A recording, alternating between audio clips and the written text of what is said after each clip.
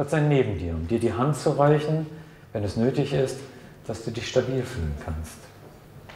Und Gott sei über dir, um dich zu segnen mit dem guten Segen, mit der ganzen Liebe, die er hat. Ich glaube, von meinem direkten Umfeld in meiner Kirchengemeinde hat es keiner gemerkt.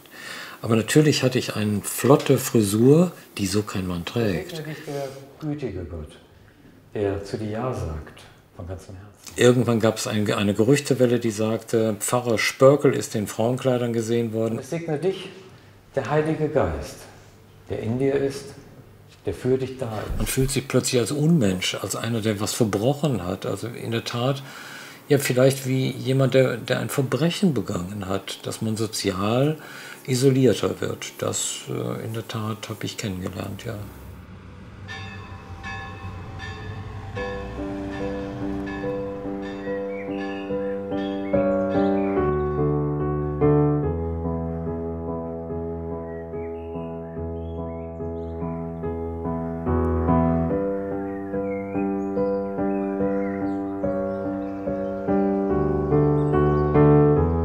Spörkel ist Pfarrerin. Vor mehr als 30 Jahren hat sie in der Gemeinde Haldern angefangen.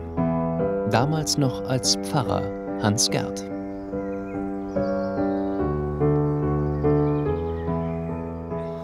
Ich bin so ein bisschen verunsichert, ist das noch meine Kirchengemeinde, wo ich auch in dieser Reihe der Pfarrer liegen will? Ich glaube, das Presbyterium kann es nicht verhindern, dass ich das wollte. Also sie können das nicht verbieten hundertprozentig kann und will ich mich eigentlich nicht mehr mit der Kirchenkirchengemeinde identifizieren. Mit Kirche schon, aber nicht mehr unbedingt mit dieser Kirchengemeinde, mit allen Menschen, die dazugehören. Ist zwiespältig. Elke musste inzwischen ihre Kirchengemeinde Haldern verlassen. Als sie sich vor neun Jahren entschieden hat, als Frau zu leben, begannen die Schwierigkeiten. Die Situation eskalierte. Niemand ahnte, dass sich Pfarrer Hans Gerd als Frau fühlt. Der Prozess war ein Prozess wirklich über 40, 50 Jahre eigentlich immer mehr zuzulassen. Also ich habe am Anfang versucht, auch mir ein Bart sogar mal wachsen zu lassen, um zu erkennen, wie bescheuert ist das denn, wenn ich mich dann umziehe und mich im Spiegel sehe mit Bart, das geht gar nicht. Ich habe meinen ersten Friseurtermin bereits gehabt, als ich auch so Mitte 30 war und habe mir eine weibliche Kurzhaarfrisur machen lassen. Das fällt keinem Menschen auf dachte ich auch, wenn man mit dem Thema nichts zu tun hat. Ich glaube, von meinem direkten Umfeld in meiner Kirchengemeinde hat es keiner gemerkt. Aber natürlich hatte ich eine flotte Frisur, die so kein Mann trägt. 26 Jahre lang kennt die evangelische Gemeinde ihren Pfarrer als Hans Gerd. Mit Kurzhaarfrisur und Ohrringen beginnt Elke schon sehr bald, sich weiblicher zu geben. Ihr ist klar, dass sie ihr Geheimnis früher oder später in der Gemeinde am Niederrhein öffentlich machen muss. Heute lebt Elke als Frau. Eine Operation kam für sie nie in Frage, aber weibliche Hormone und Stimmtraining.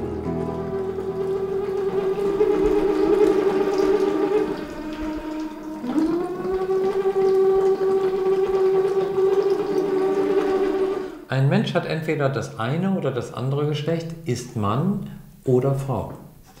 Hinter diesem Ordnungssystem steht die Annahme, dass das Geschlecht nur entweder als männlich oder als weiblich gibt. Gott, das ist aber ein theoretischer Text, das ist so richtig. Boom. Kann er nicht wie ein normaler Mensch reden? Meine Güte. Wie fanden Sie die Stimme denn? Wie fand ich die Stimme? Ja, entspannt. Also ich mhm. habe mich nicht sehr angestrengt. Ich glaube, ich könnte noch höher. Ja, meine ich auch. Also ja. teilweise ist noch ein bisschen zu viel ja. Brustresonanz äh, mit ja. dabei. Dann muss ich mal vielleicht die Hand drauflegen und irgendwas anderes lesen. Genau. Elkes Haus in Haldern, einem Stadtteil von Rees, in dem sie seit 1994 wohnt. Noch heute erinnert sie sich an ein Ereignis, das sie als Kind geprägt hat. Damals lebte sie mit ihren Eltern in Ratingen bei Düsseldorf solange ich mich erinnern kann, war immer die Faszination, warum darf ich kein Mädchen sein? Wie wäre es, wenn ich Mädchen geworden wäre? Ich bin mal irgendwann in der Tat äh, als Kind entdeckt worden. Ich war im Waschkeller meiner Oma und ich habe in dieser Waschküche eine Corsage entdeckt und habe sie über meine Lederhose, die ich hatte, und mein Hemd dann rübergezogen, habe das aber natürlich, weil ich da schon wusste, das ist was Verstecktes, Geheimes, hinter der Tür gemacht. Und mein Vater kam irgendwie rein, sah mich und hat dann sehr scharf gesagt, was machst du denn da? Also mit so einer ganz scharfen Stimme.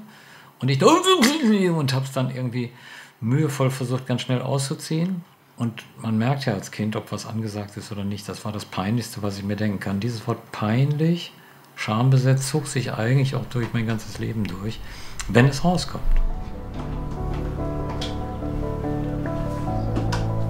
Lange hat Elke ihr Geheimnis für sich behalten. Zum Beruf des Pfarrers gehören neben dem Predigen noch andere Aufgaben. Heute wird Elke Religion und Ethik an einer Alten- und Krankenpflegeschule in Wesel unterrichten. Diese Klasse hat sie heute zum ersten Mal. Das ist der Name, das ist nicht weiter interessant. Spörkel kann man kaum, kaum aussprechen, muss ich mal buchstabieren, wenn ich mich vorstelle. Ähm, Alter 60 Jahre. Ja, bin ich. Ja, doch. Weiß ich immer aus, danke. Höre ich gerne. Ich sagen kann, ich habe sieben Kinder. Oh. Kommt immer die Frage, was haben Sie sonst noch gemacht in Ihrem Leben? Ja, ähm, sieben Kinder ist auch spannend. Also der älteste ist 38, der jüngste ist, äh, ist 10. Äh, also eine ganze Spannbreite dazwischen. Ja, genau. Was das Spannendere ist, ist eher der Vorname. Das war nicht immer so. Bis 2010 war der Vorname Hans-Gerd, ein männlicher Vorname. Und dann habe ich mich aufgemacht, äh, eine Veränderung durchzuziehen mit einer Vornamens- und Personenstandsänderung. Das darf man in Deutschland machen. Das heißt, ich bin jetzt anerkannt Frau Elke Spörkel. Gäbe es irgendwas, was interessiert vielleicht? Sind Sie echt homo oder heterosexuell? Meine Sexualität hat sich nicht geändert. Ich stand immer auf Frauen und ich fände es merkwürdig, sich jetzt mit einem Mann zu umgeben. Ich weiß ja, wie Männer ticken und die sind mir dann viel zu anstrengend. Die Vorstellung, ich hätte einen Alltag mit einem Mann zusammen, ach nee, gibt's nicht. Zum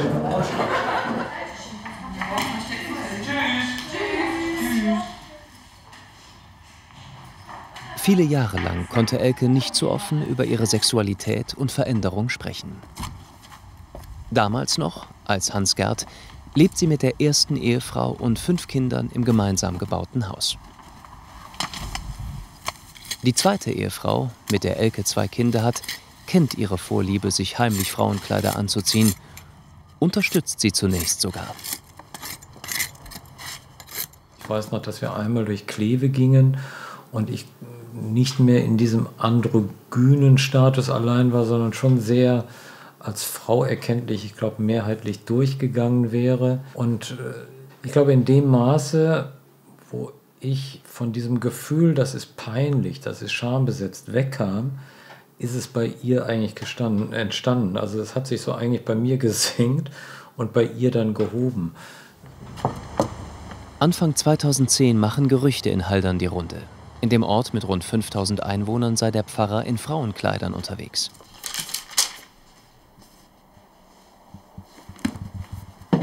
Elkes ältester Sohn aus erster Ehe erfährt davon sogar in Gießen, wo er damals am Landgericht sein Referendariat macht.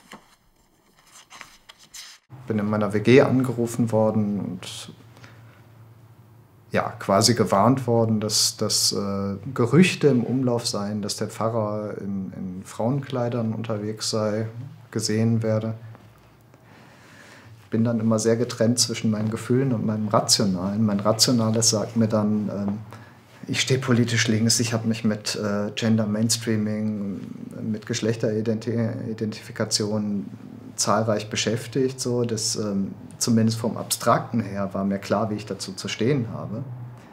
Während in meinem Bauch dann irgendwie so ein, keine Ahnung, wie ich das einordnen soll, existierte. Besonders viel Gerede über den Pfarrer gibt es unter den etwa 1000 Mitgliedern der evangelischen Kirchengemeinde in und um Haldern. Das war dann auf alle Fälle auch die Zeit, wo darüber dann im Dorf auch gesprochen wurde. Ey, hast du gehört? Und ich glaube ja, äh, Hans-Gerd Spörgel ist in Frauenkleidern gesehen worden und solche Dinge. Und sofort ruft mich jemand an aus dem Nachbardorf, ah, der Pipi-Mann ist noch dran. Das sind so die Dinge im Hintergrund, die auch Menschen kaputt machen. Und ich glaube, das ist auch für Elke nicht einfach. Sie weiß ja, was die Menschen reden. Elke ist in dieser Zeit das Gesprächsthema im Dorf. Trotzdem hält sie hier weiterhin wie jeden Sonntag ihre Predigt. Mir haben Leute in der Kirche den Handschlag verweigert, äh, wo man an der Kirchentür steht und jeden verabschiedet und mir wollte einer keine Hand geben. Ich wurde daraufhin bei einem Gemeindefest in diesem Dorf nicht bedient, als ich einen Kuchen kaufen wollte. Das wurde mir verweigert. So Leute wie Sie, wie du, äh, kriegen hier keinen Kuchen. Für mich haben Leute die Straßenseite gewechselt, ja. Charlotte Bethke, Lotti, ist seit Jahrzehnten in der kleinen Kirchengemeinde aktiv. Sie kennt Elke als Pfarrer Hans-Gerd von Beginn an. Ich meine, äh, ein Pfarrer ist für die Menschen da, vor allem für Kranke und äh, für Menschen, die äh, auch seelische Hilfe brauchen. Aber die hat sie selbst gebraucht. Ich glaube, wir können sowieso nicht nachvollziehen, wie geht es einem Menschen, der äh, immer empfindet, er ist nicht in, im richtigen Körper.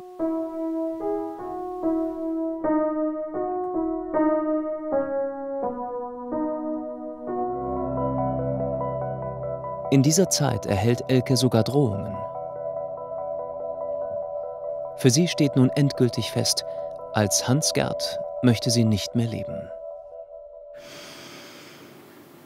Also kann man seinen Beruf behalten, bleibt einem die Familie, stehen die Kinder zu einem, es steht alles zur Disposition. Das heißt, das Grundgefühl war, ich kann eigentlich nicht mehr, ich habe keine Kraft mehr. Und wenn ich jetzt aufhöre zu atmen oder vielleicht dem sogar nachhelfen kann, dass das Atmen aufhört, dann ist es gut gewesen. Also ich war in dieser Phase im Nachhinein, würde ich sagen, suizidal, natürlich. Ein halbes Jahr hält Elke noch durch, bis sie im Sommer 2010 nach einem Zusammenbruch krankgeschrieben wird und sich schließlich Hilfe sucht. In der psychosomatischen Reha-Klinik Brunnen in Nordrhein-Westfalen nimmt sich Elke eine fünfwöchige Auszeit. Elkes Vorgesetzter ist damals Superintendent des Kirchenkreises Wesel. Als homosexueller Pfarrer hat er lange selbst für seine Anerkennung gekämpft und kennt Anfeindungen, wie sie Elke derzeit erlebt. Ich habe die Elke angerufen und habe gefragt, wie es ihr geht. Und weil ich wissen wollte, wie so der Stand der Dinge ist. Und dann bin ich hingefahren. Und das war im Dezember. Und dann haben wir während eines langen Spaziergangs miteinander gesprochen, wo sie, wo dann so deutlich wurde, ich kann in meiner alten Rolle nicht wieder zurück. Ich hatte eine psychosomatische Reha-Maßnahme mitmachen können in dieser Zeit, fünf Wochen lang, wo ich zum ersten Mal in meinem Leben fünf Wochen lang als Frau gelebt habe. Das war, das war eine ganz große Revolution. Und als diese Zeit dort zu Ende ging, habe ich meinem Dienstvorgesetzten geschrieben, ich komme zurück, will wieder arbeiten, will in dieser Kirchengemeinde wieder arbeiten, aber ich komme zurück als Frau. Also das war klar und habe ich gesagt, gut, dann gehen wir diesen Weg gemeinsam. Im Gemeinderaum, in dem regelmäßig der Kirchenchor probt, will Elke schließlich ihr Geheimnis öffentlich machen.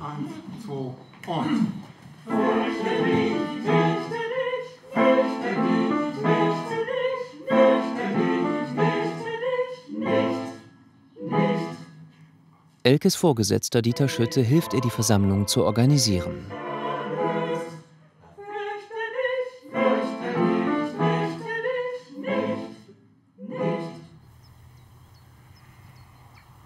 Es ist kurz nach Neujahr, der 2. Januar 2011, als Elke sich ihrer Gemeinde stellt. Alle aktiven Gemeindemitglieder, Dieter Schütte und sogar ein Pressefotograf, der zufällig von der Geschichte hört, sind gekommen. Jeder Mensch hat ja so die Sehnsucht, angenommen zu sein. Und ich hatte natürlich auch die Angst, nimmt mich diese Gemeinde mit ganz, ganz vielen Menschen, die ich ja seit über 25 Jahren kannte, nehmen die mich an. Also ich hatte mein silbernes ja, Gemeindejubiläum hinter mir. 25 Jahre. Elke erzählt den über 100 Anwesenden, warum sie als Frau leben und sich gerne Elke nennen möchte, dass sie transident ist und dass sie gerne als Pfarrerin weiter für die Gemeinde arbeiten möchte. Womit ich nicht gerechnet hatte, dass danach erstmal ein lang anhaltender Beifall war. Das war viel schlimmer auf eine bestimmte Art und Weise, als wenn direkt die erste Frage gekommen wäre. Also das zu ertragen, dass Leute ja nicht nach einer Predigt mal applaudieren, das kenne ich auch, oder nach einer Gemeindeveranstaltung, sondern weil man seine Lebensgeschichte offenbart hat, dass Menschen dafür applaudieren, das hat natürlich alle Dämme gelöst. Also da ran mir sicher auch das eine oder andere Tränchen herunter. Für uns, wenn ich das so für uns beide, und du darfst da ruhig Ja oder Nein sagen. so, danke. Ja, darfst du. Äh, der Mensch verändert sich im Grunde nicht, was jetzt das er selbst oder sie selbst betrifft. Ja, 30 Jahre hier und wir wissen doch, also was sie geleistet hat, die Gemeinde zusammen und mit, vor allen Dingen mit der Jugend und so. Sagt, der Mensch ist doch der gleiche geblieben. Und ich finde, aus dem Grunde sollten wir äh, unsere Pfarrerin weiterhin achten und respektieren. Und ich weiß auch, dass ich damals auch in meinem Text geschrieben habe, dass sowas eigentlich ein Testfall für, für Christentum ist. Wo man ja immer davon ausgeht, ne, liebe deine Feinde bis hin, liebe deinen Nächsten und bla bla bla. Und dann habe ich für mich festgestellt, so jetzt wollen wir doch mal gucken, wie viel bla das ist.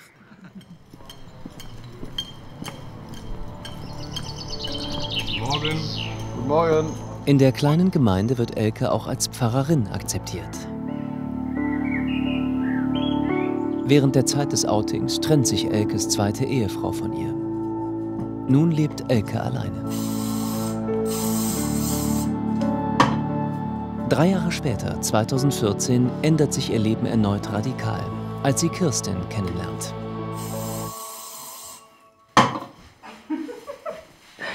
Kannst du mal ein bisschen zumachen? Ich hoffe, ich kann's. Okay, ist jetzt heute Morgen zu viel gefrühstückt, das passt nicht mehr. Ja.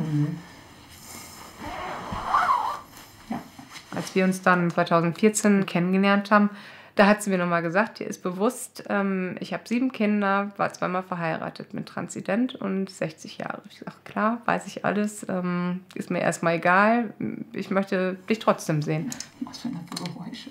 Also eigentlich bin ich überhaupt nicht so äh, jemand, der so schnell Nägel mit Köpfen macht. Ich brauche eigentlich immer ganz, ganz lange Zeit, um mich dann zu entscheiden und mir auch sicher zu sein. Aber irgendwie, ja, war es das. Kirstin? Wo bist du? Hast du die Farbe? Wenige Wochen später zieht Kirstin in Elkes Haus ein. Ja, die passen. Sieh mal an, sieh mal an. Die sind aber obercool. Damals war sie aber von ihrer Kleidung noch nicht so, ich sag mal, weiblich. Da war sie eher androgyner. Sind sie nicht zu doll? Nein. So aufgedingst? Nein. Ach komm, die sind total heiß. Nein. Was passt? Was passt? Ich bin gefunden. Super. Was passt?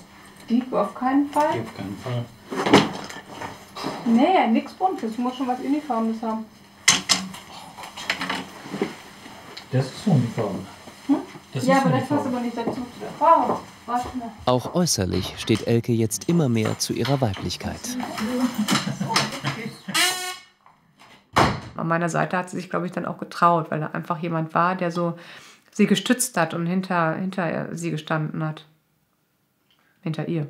Hinter ihr gestanden hat.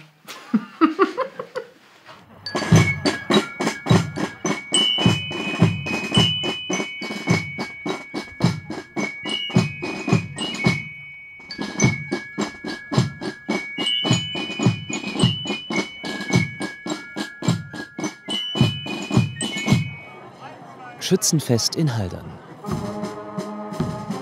Das gesellschaftliche Ereignis des Jahres.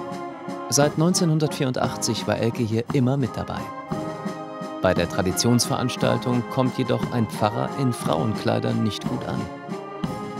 Elke erlebt hier zum ersten Mal offene Anfeindungen.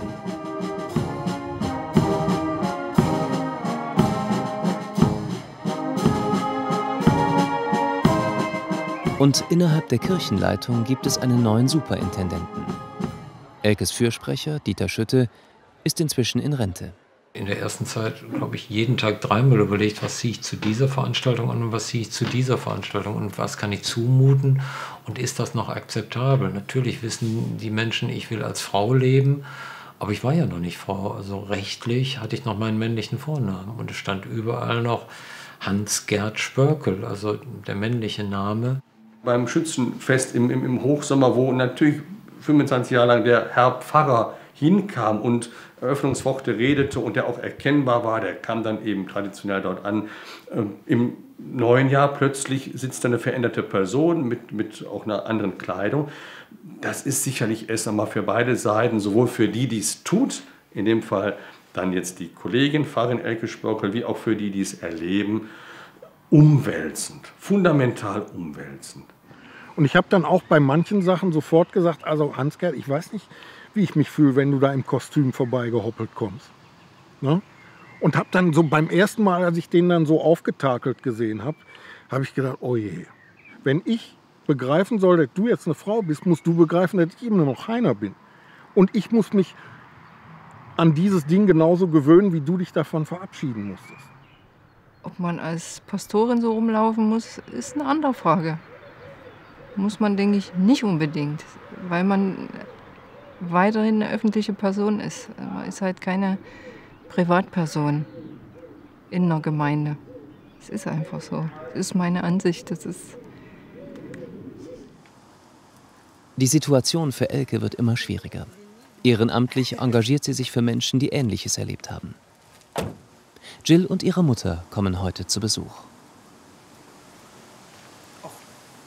Ich such dich, ich such dich und du. Oh Mama, ey. Hi. Schön, dich zu sehen. Einfach mal. Hi. Alles gut? Genau, wir haben es ja schon vor zwei Tagen gedrückt oder vor drei.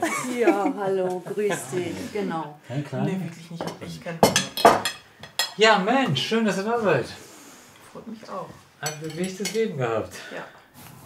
Wann hast du gewusst, dass das ist ein schwieriges Wort oder ein transsexuell oder so transidentisch ist und nicht schwul, homosexuell, wie du zuerst gedacht richtig hast? gewusst mit 14, 15. Ja. Doch mit schon. 16 habe ich das dann komplett gesagt, jetzt ist Schluss. Da wurden die Männerklamotten entsorgt. Richtig. Echt? Von jetzt auf gleich weg.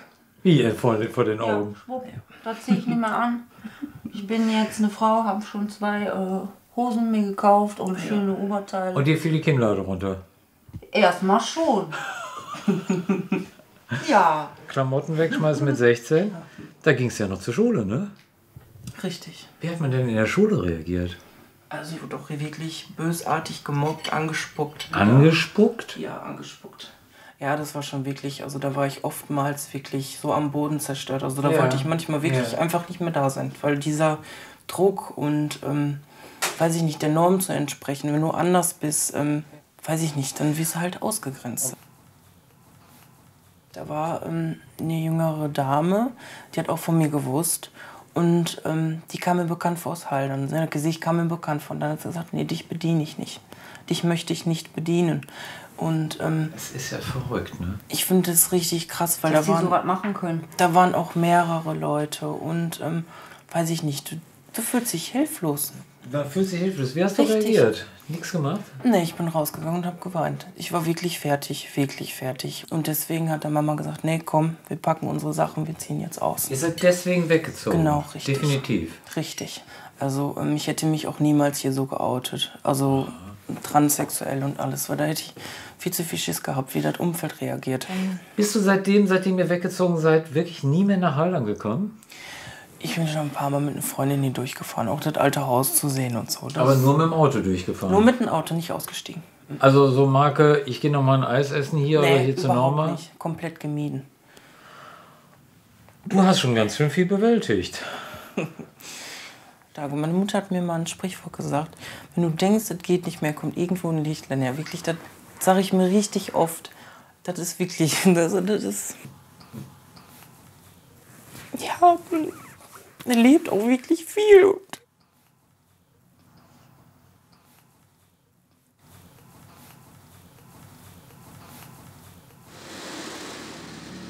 Solche Gespräche, die für die Betroffenen so wichtig sind, führt Elke in ihrer Freizeit. Die Kirche unterstützt ihr Engagement nicht.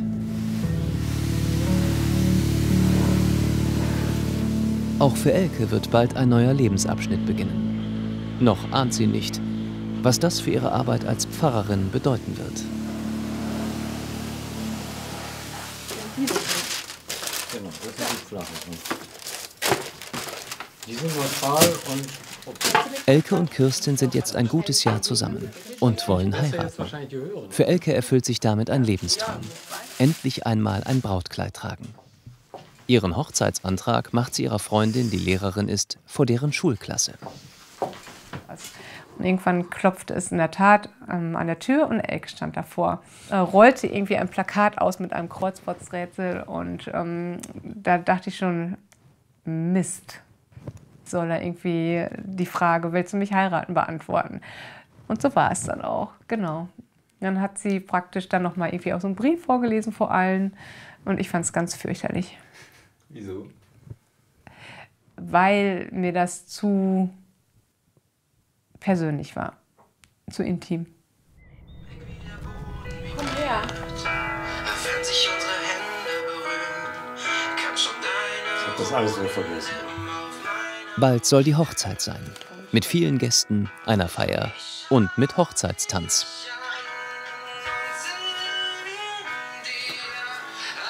Das weiß ich nicht.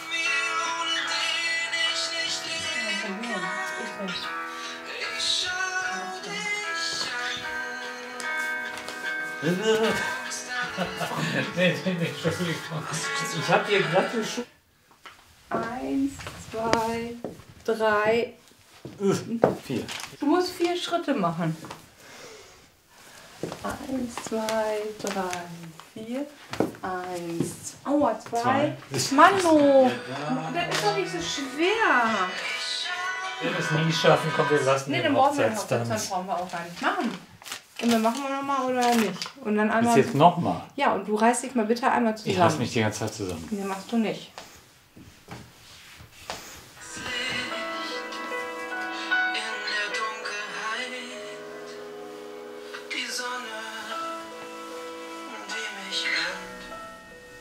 Elkes Hochzeitspläne und der Antrag im Gymnasium vor Kirstens Schulklasse sprechen sich in Haldern schnell herum. Quasi sein eigenes Leben dermaßen äh, in den Mittelpunkt stellt und zelebriert, bekommt es so eine, so eine Richtung, dass es sehr ähm, egozentrisch wirkt. Und das ähm, finde ich unpassend. Wo ich tatsächlich auch so das Gefühl habe, ähm, dass da dann das Presbyterium gesagt hat, so jetzt ist aber das Maß voll. Also das geht jetzt nicht mehr. Elkes Heiratsantrag sorgt für Unruhe im Dorf. Vor allem die Leitung der evangelischen Kirchengemeinde reagiert verärgert. Es heißt, Elke habe den Schulfrieden gestört. Einige in der Gemeinde fordern sogar ihren Rücktritt als Pfarrerin. Ja, mein Superintendent hat das zusammengefasst und hat gesagt, ich habe Spielregeln verletzt. Ist eine Spielregel, was man anzieht? Ist eine Spielregel, dass man nicht in einer Schule gehen darf und einen Heiratsantrag für eine Frau machen darf, die man liebt?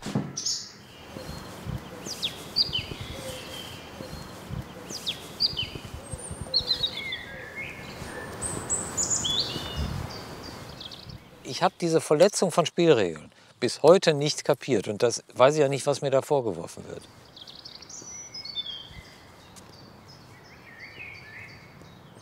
Der neue Leiter des Kirchenkreises Wesel, zu dem auch Haldern gehört, erhält immer mehr Beschwerden über Elke. Die Menschen stören sich daran, heißt es, dass es im Dorf kaum noch ein anderes Thema gibt. Stattdessen lesen wir immer wieder nur Haldern, Spörkel, Transgender. Und das hat, glaube ich, viele an der Stelle einfach auch ein Stückchen erschöpft, sodass irgendwann auch so ein Punkt erreicht war, zu sagen, wir können einfach nicht mehr. Vielleicht wollen wir auch nicht mehr.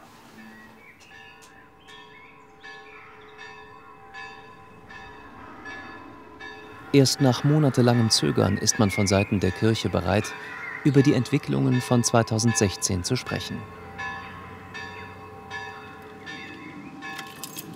Jutta Heister ist Vorsitzende des Presbyteriums, also des Gemeindevorstands.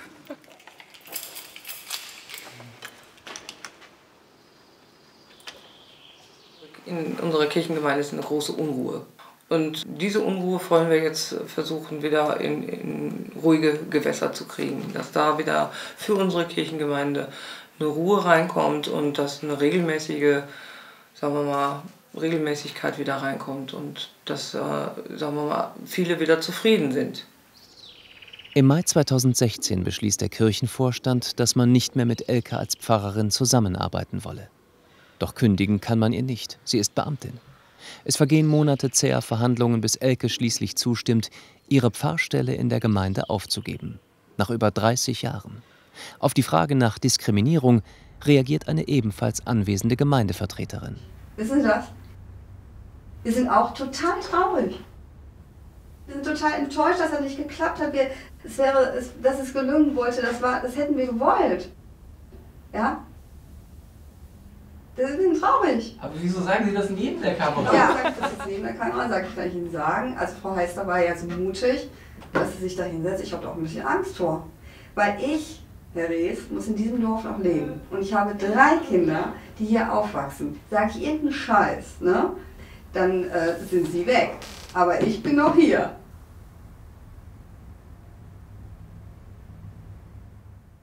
Komm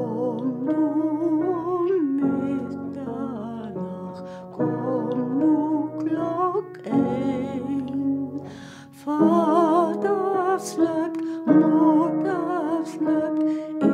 bin allein. Vater slöpt, Mutter slöpt, ich bin allein. Naja, eigentlich hätte ich ja auch gedacht, dass ausgerechnet die Kirche, dass die ein anderes, äh, naja,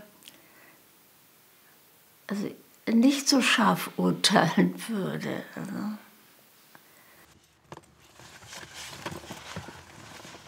Ende des Jahres scheidet Elke offiziell aus dem Amt der Gemeindepfarrerin in Haldern aus.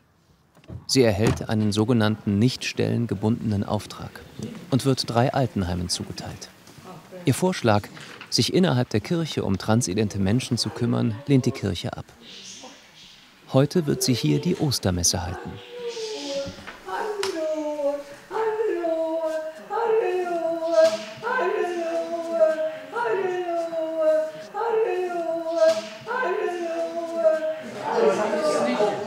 Ausschließlich für ältere Menschen zu predigen, ist für Elke eine neue Herausforderung.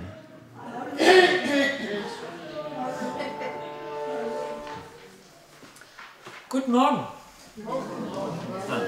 Genau, wir feiern einen Ostergottesdienst und wir wollen gemeinsam das neue Leben feiern. Hier im Christophorus-Altenheim, zehn Kilometer von Haldern entfernt, ist Elke von Beginn an Frau Pfarrerin. Nur wenige kennen Elkes Vorgeschichte und wissen von ihren Zerwürfnissen in Haldern. Ist lecker, ne? So. Ganz langsam, ganz langsam.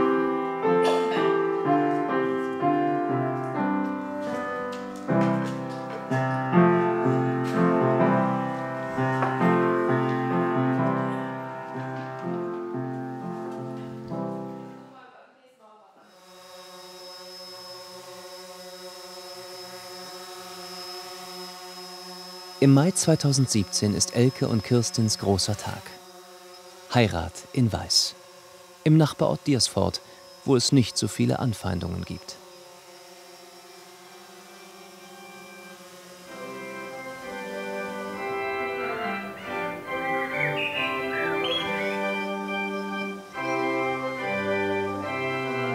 Die Kirchenleitung versucht zunächst, die Dreharbeiten in der Kirche zu untersagen.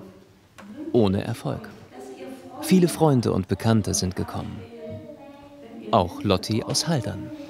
Zu euch halten und euch trösten, wenn mal schwere Zeiten kommen.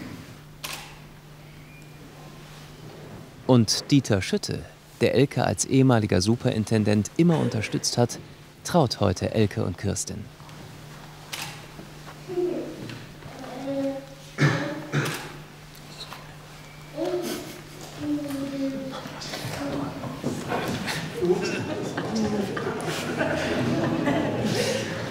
フフフフ。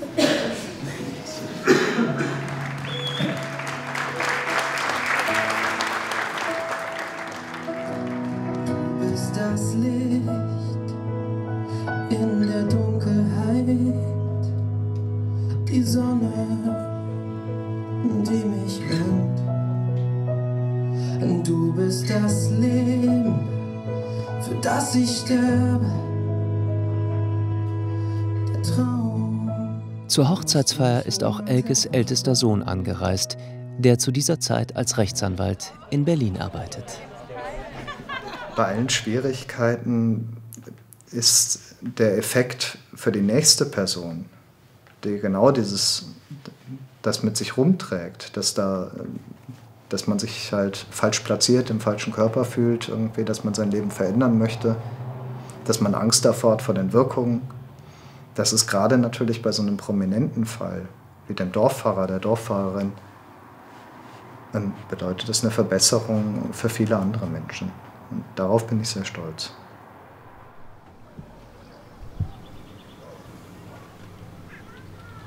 Ein Jahr nach ihrer Hochzeit 2018 ziehen Elke und Kirstin aus.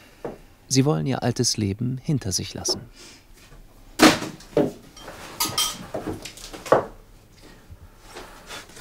Das ist gut.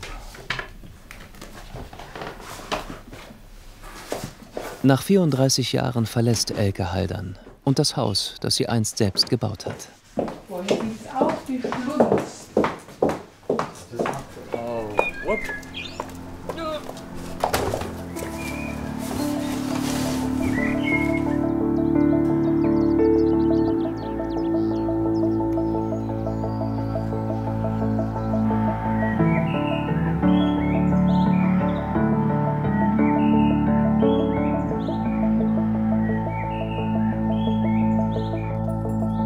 2019.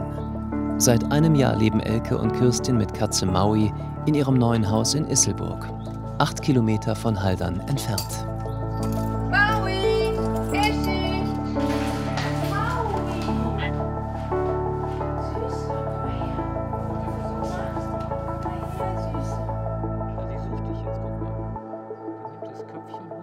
Wie findest du den Garten jetzt eigentlich? Schöner als den in Haldern oder nicht schöner? Also in Haldern war der schon ein bisschen urwüchsiger. Was ich aber nicht so schön fand, war, dass wir da auch so eingequetscht waren von den Häusern. Aber da war Wildwuchs, da war Wildhecke. Ja, und da waren Vögel, die die da in der Hecke gebrütet Ja, guck mal, haben. hier haben wir auch Wildwuchs. Ja, und die Steine müssen raus. Ja, das stimmt. Das ist ja was anderes, ob man jetzt 30 Jahre lang an einem Ort gewohnt hat, so wie Elke in Haldern, oder ob man irgendwo neu hinzieht und auch noch keinen kennt. Und wir müssen uns jetzt hier erstmal ein Stück weit unser Leben wieder aufbauen. Ich gehe jetzt rein. Tschüssi. Und dann? Das weiß ich auch noch nicht.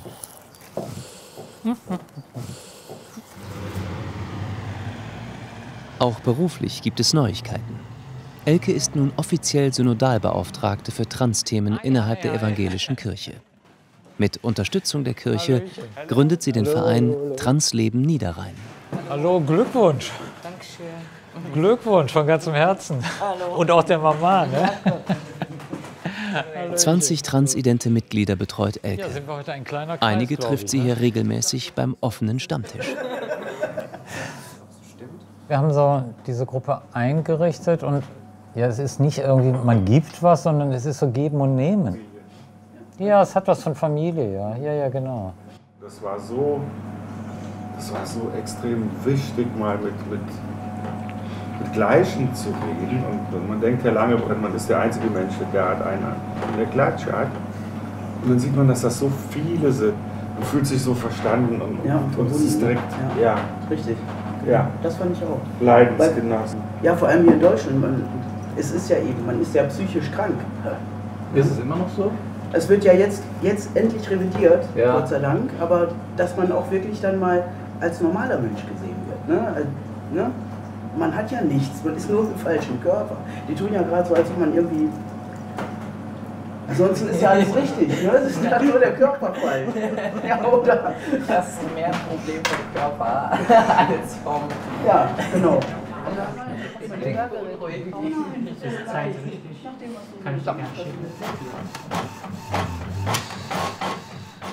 Ich habe selber mal einen Segnungsgottesdienst erfahren, als so meine große Veränderung war. Das war wundervoll, weil ich damit so eine Rückenstärkung hatte für das, was kommt. Nämlich nochmal neu leben zu dürfen. Ich hätte vorher zweimal fast mein Leben weggeschmissen und da habe ich bewusst Ja gesagt zum Leben. Und wir haben eine Selbsthilfegruppe und aus dieser Selbsthilfegruppe hat sich jemand gewünscht, auch so einen Gottesdienst mitzumachen. Und den habe ich heute Morgen vorbereitet. Na, fertig. Alles Alles geschafft. Schön. Es ist Wochenende. Elke wird heute Nick aus der Selbsthilfegruppe segnen. Kirstin begleitet sie und hilft beim Gottesdienst.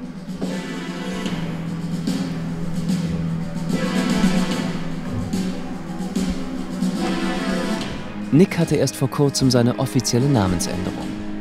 Heute will Elke ihn auf seinem Weg bestärken. Freunde und einige Mitglieder aus dem Verein sind in die kleine Kapelle gekommen. Herzlich willkommen an diesem 1. Mai. Der Name, der jetzt so richtig staatlich, amtlich befestigt ist, Nick. Und das wollen wir feiern. Feiern auch mit einem kleinen Gottesdienst und herzlich willkommen denen, die heute dazugekommen sind. Lieber Nick, du bist einen ganz weiten Weg gegangen jetzt hast du dich entschieden, als Mann in dieser Welt zu leben. Komm mal nach vorne.